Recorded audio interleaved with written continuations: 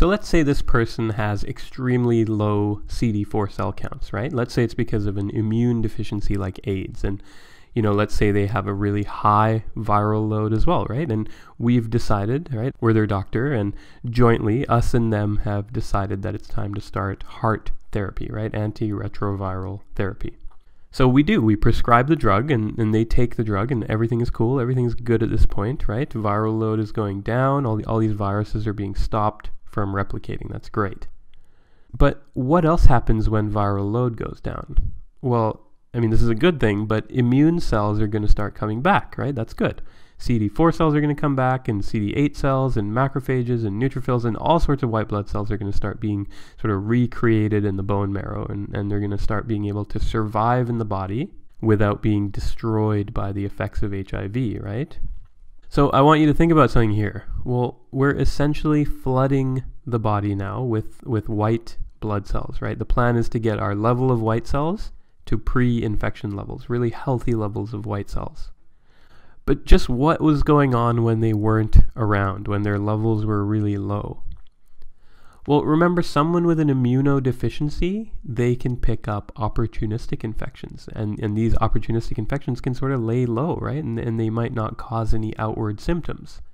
So the person might have bacteria floating around or, or viruses or, or, or fungi, but they might not have any outward symptoms. They might not know that they have occult opportunistic infections. That's what we call infections, or really anything that's not really readily detectable. We call it occult.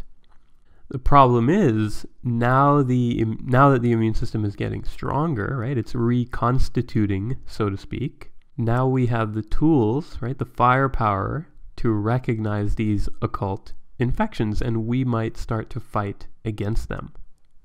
And when we start this war, right, this battle against these, the, they might again they might be bacteria or viruses or fungal infections.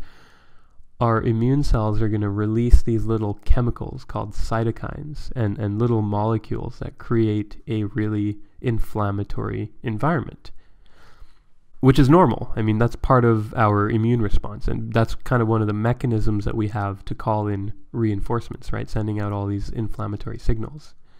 But sometimes they go overboard. They take it a little too far and they overdo the inflammatory signals. So there's cytokines everywhere, and, and this might cause the person to have a really high fever.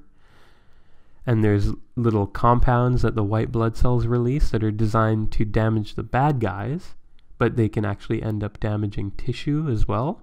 So there's potentially some tissue damage happening. And remember, I said reinforcements are coming in, right? So more white cells are coming in, and this cascade is sort of cascading away, right? Well, this whole thing, right? Everything I've described here, there's a name for it, and it's called immune reconstitution inflammatory syndrome, or IRIS. So it's basically a tremendous amount of inflammation, right? Systemic inflammation all over the body due to the immune system reacting against bugs that it just discovered upon its sort of return from low function. So I mentioned that the person's going to have a fever, right? A high fever, but they're also going to feel really, really sick when this is happening. And, you know, it's kind of paradoxical, but they might actually start to get symptoms of the opportunistic infections that they have. They, they might actually start to get worsening of those symptoms, which is kind of interesting. They're just going to feel really unwell so everything I just described there, that's the classic sort of manifestation of IRIS. When the immune system comes back and then it realizes, it recognizes that there's all these little bugs running wild everywhere, and then it starts up this crazy inflammatory uh, syndrome. That, that's the usual way that IRIS manifests. But there's also another fairly common scenario that IRIS can sort of manifest as. And this one's a little bit more bizarre. So sometimes some of the T cells that get reconstituted, that get replenished, remade, and are now patrolling around the body, well, they might run into some dead bugs or little bits of dead bugs, right? Maybe bacteria or viruses or fungi that that maybe haven't been cleared out of the body yet. Often, a few weeks previously, the person was infected with an opportunistic infection and they took medication and, and the bugs all died off because of the medication the person took. But you know, the, the dead bugs might just not be cleared out yet. It takes a little bit of time, even though they're dead. But these reconstituted T cells, they might mistakenly think that they've encountered a real threat. So again, they kick off the big inflammatory cascade that we call IRIS.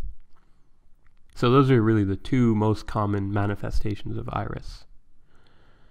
Now, a few things I just want to touch on before we wrap up here. So, does this happen in everyone? And the answer is no. It seems to only happen in about 20% of people who have just started HAART treatment. And that's kind of interesting in itself, right? I mean, the same sort of thing is happening in everyone on HAART, right? High viral load and low T cells and lots of bugs hanging around and doing whatever they want, and then immune reconstitution. So, why only 20%? Why not everyone? Well, the answer isn't completely known right now, but it's thought that a couple things can increase the odds of IRIS after starting antiretroviral treatment. So, having a really low amount of immune cells before starting HAART, and having any active opportunistic infections or high burden of bugs in your system when you do start HAART. And again, these qualities have just been associated with the development of IRIS. And you know, we're free to hypothesize why, but we can't exactly put our finger on why this is the way it is as of yet. But in practice, we just try to minimize the risk of things like IRIS happening by treating any opportunistic infections a few weeks before we start anyone on HAART. So the last thing I wanted to say is, you know, what's the prognosis? Is the person going to get better? Are they are they going to be okay?